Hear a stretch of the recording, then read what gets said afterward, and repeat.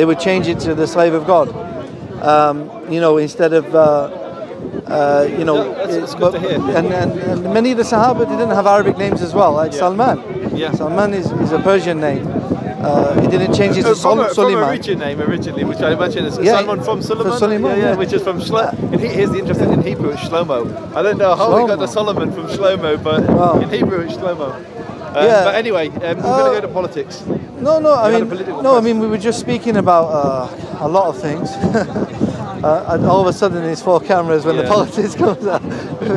you could have come about like- 20 and you minutes know what? ago. It's going to get really angry. People will come around and shout at us. So hopefully we can keep it Oh, civil. okay. Um, Yeah, I mean, I don't want it to go that way. I, I'm, I, I don't either, I was really interested in actually knowing more about the revelation. That that Yeah. really is something I'm actually interested and in. I, truthfully, I gave you everything I've given you Yeah. is probably as much as I Can can I do. can I give you maybe the Islamic perspective? Not you. Maybe you're not interested, or you don't.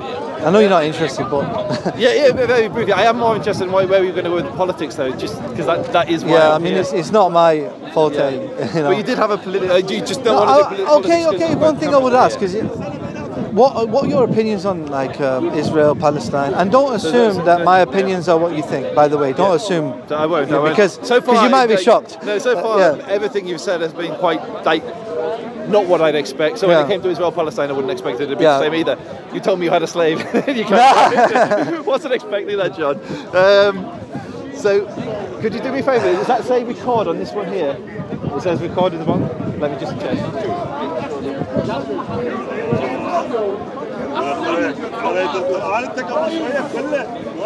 So you asked my view on Israel Palestine.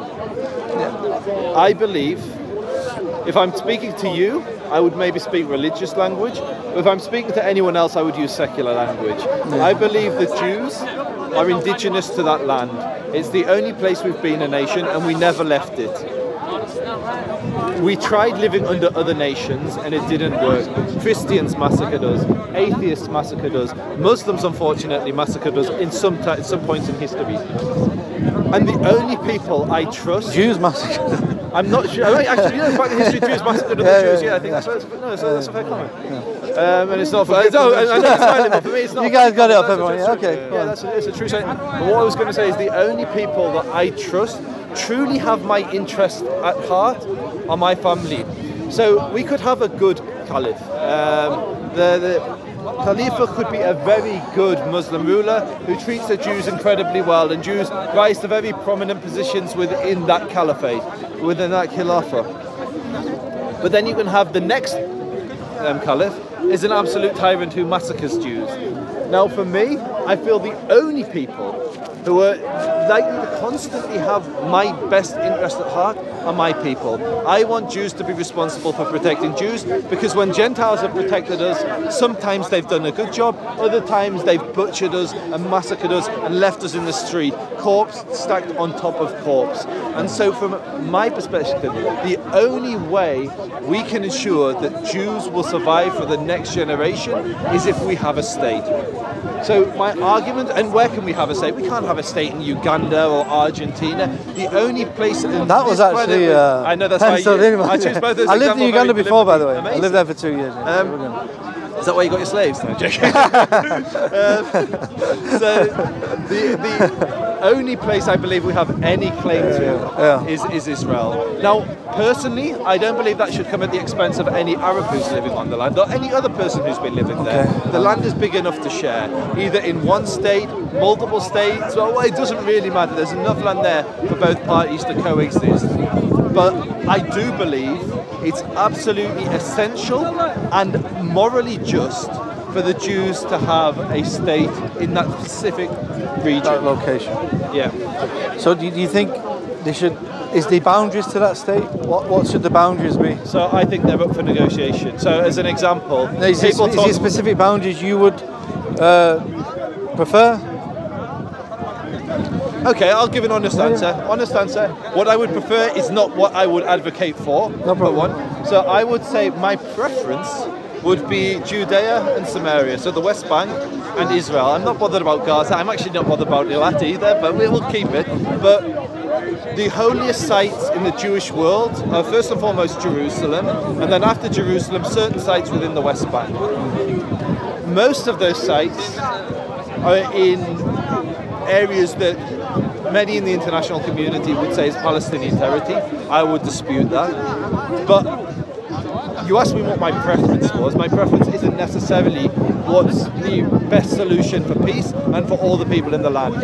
And so while that land is the holiest land you could imagine for us, I think that life, blood, is more important than soil.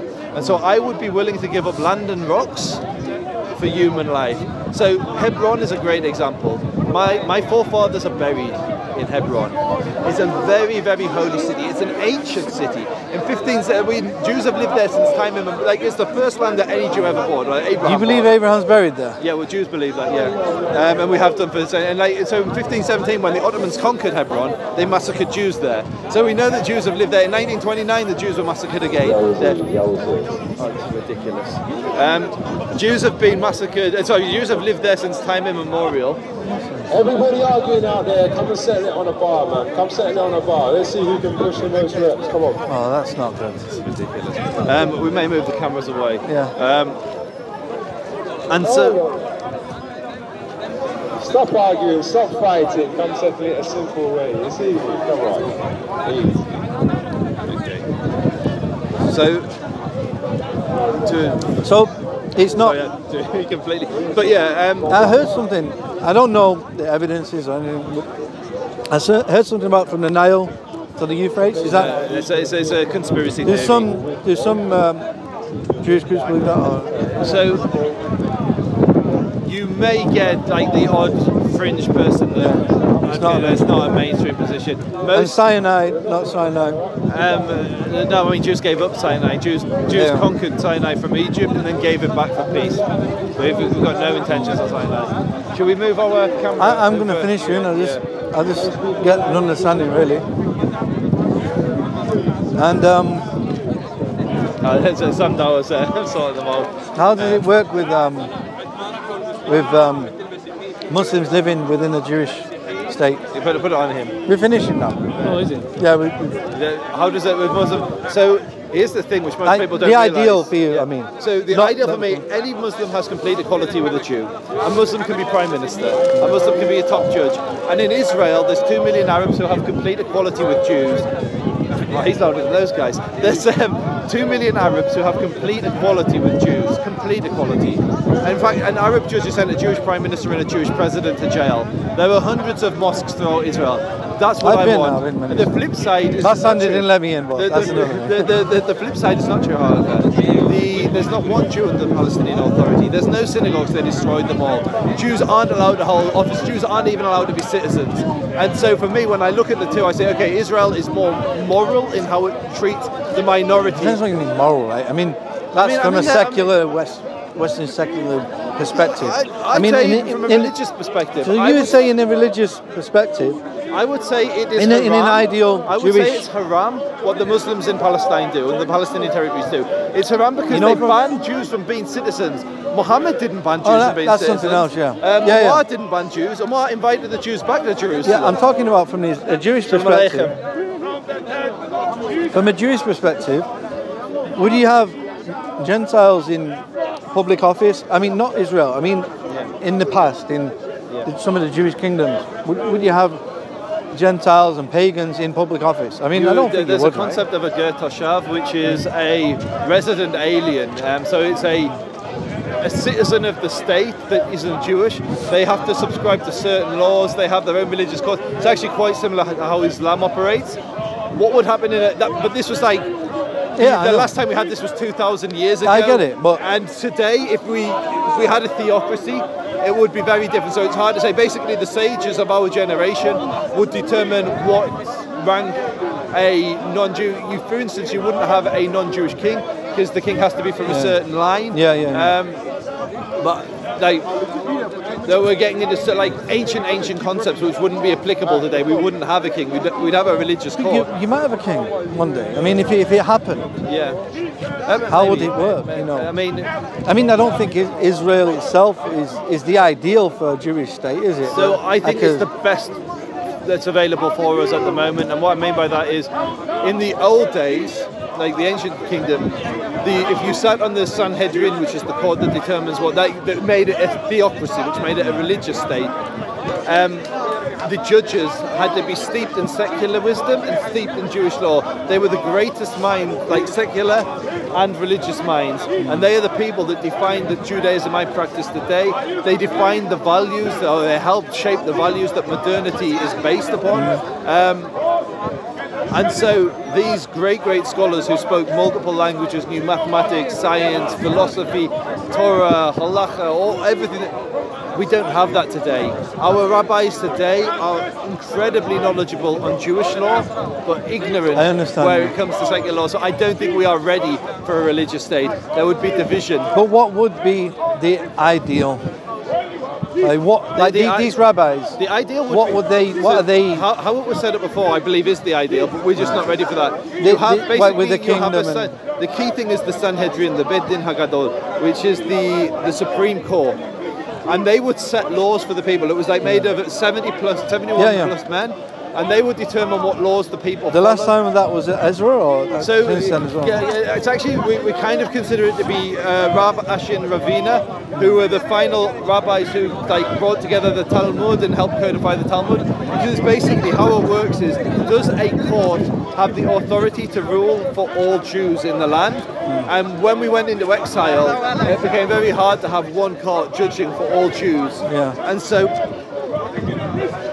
what I believe is that this court system was the right system. You had the finest, like religious and secular minds in one court, and they would pass a law. And if the people accepted the law, they followed the law, it became binding. If the people were unable to, the, the court then had to repeal the law, as long as it didn't contravene, contravene Torah law. So, as an example, Jews are not allowed to drink wine that could have been um, used for idolatry. And so they decreed that we can't even handle Jews wine that's been handled by a, uh, a, a non-Jewish person Yeah. in case that non-Jew used it for idolatry. They made this, and Jew, that's binding today. I can only drink wine or grape juice that's been um, handled by Jews in case it's been used for idolatry. They made the same decree for olive oil, but the people weren't able to keep the olive oil and they kept on buying Greek olive oil, so the, the court repealed, repealed that law. And so what you have is this court system, which is like a balance of having like a meritocracy, the greatest minds, but are only able to pass laws that the people democratically accept. So for me, that's a good system, and that is our system. Would obviously be updated because man has updated. So it is. It is how you do it. Yeah, I get it. So the the democracy of Israel, if you like, kind of does fit in with that. Yeah, it, I think Israel's not religious though, and it's not ready to be religious. Mm. Israel's very divided between secular and religious people, and you wouldn't be able to have a panel of rabbis that the secular Jews would accept, and you wouldn't have a secular leaders that the religious Jews would accept. So what's your plan for the territories which would be the ideal? Is it a gradual? So my, my Take personal over. plan, no, no, my, my plan is to advocate for peace, but advocate for a strong Israel. So peace without compromising Jewish security. Um, there is certain places over the Green Line. I absolutely think Israel has a league. I was there. I was there literally last week at a place called Givat Etam, which is just outside of Efrat, which is just south of Bethlehem. Israel purchased that land in 1943 from a monastery at the bottom of the valley. Israel has every right to that land by my by, like legally and everything. That, that land was purchased by Jews. It's Jewish land. It should not be part of the Palestinian state. I would potentially compromise. I would potentially compromise that in the name of peace. Like my friend lives there. He has a farm there, and I would be supportive of giving up that farm if it brought lasting peace. But it would have to be lasting and sincere peace. I'm not willing to compromise land for fake peace and for false peace. But uh, I'm agnostic. Any solution that brings lasting peace between Israelis and Palestinians. Interesting. How about you? You know, I'm not a I'm not a political commentator, but uh, yeah, you know, Or have you got views that you'd rather not say on camera? No, I think it's um, in an Islamic system, Jews would be obviously, as you know, uh, should be allowed to live within an Islamic system anyway. So, so my thing is, I don't want to live under Muslims, though. I know that's Yeah, fine. yeah, yeah. I'm just saying. But I know, agree with you. Yeah, That- that- it should be. You know, like you say, it's not always been the case, but you know, Islamic Islam allows that. Um,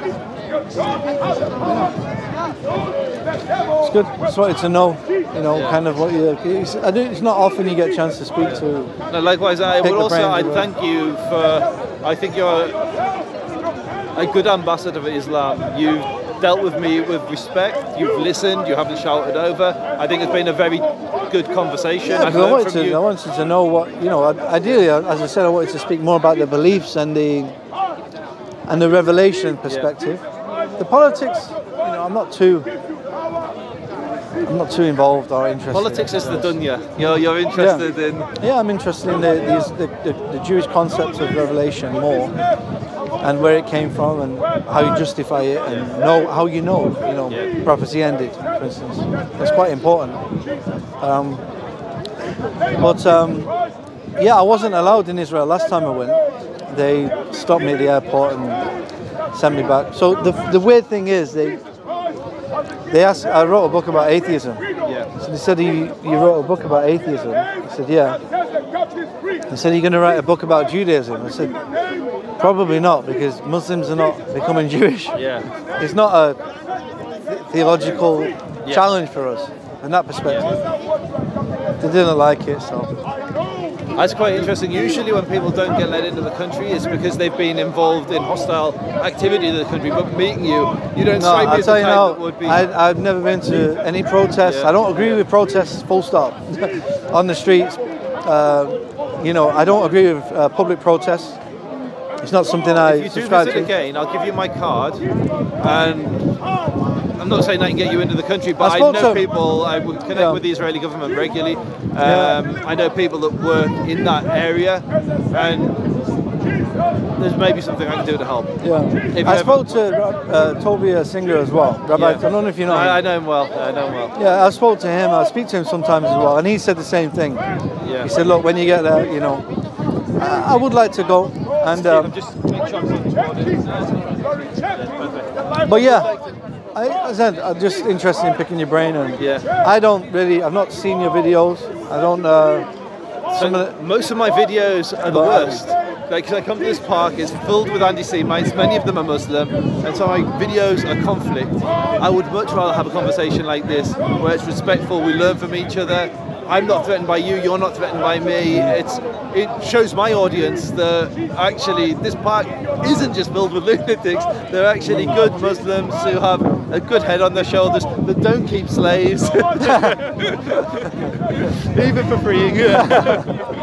no, but uh, yeah, I'm still. I still actually would like to do that one day. Free a slave. I mean, I'd like to free many slaves. I just wouldn't like to purchase one to do it. Okay. It's nice, nice speaking to you. Likewise. Don't, Jazakallahu khairan, akhi. Thank don't you. know which one's yours. This yours. one's my one. the problem of disease, the problem of affliction. Now Jesus Christ makes you free from every problem. I don't know whose mic this is. I tell you what, if you give them to me, I'll make sure that they all get their mics Free back. from devils, free from witchcraft, free from death. Jesus Christ makes you free. Be Jewish. Be Jewish. Be Jewish. I've got a lot of that. Yeah, definitely. Thank you.